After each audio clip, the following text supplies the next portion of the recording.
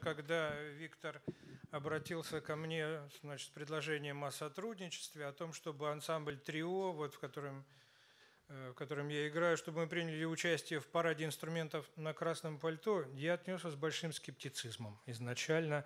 Вот, э, мне, ну, как-то мне казалось, что это невозможно как-то объединить в рамках концерта, но он мне принес, показал фотографии вот красного пальто. В общем, и он своей какой-то такой вот энергией, он меня заразил. И когда был вот тот большой-большой такой гала-концерт в э, Центральном доме художника, то вот, если не ошибаюсь, то ансамбль «Трио» принял участие.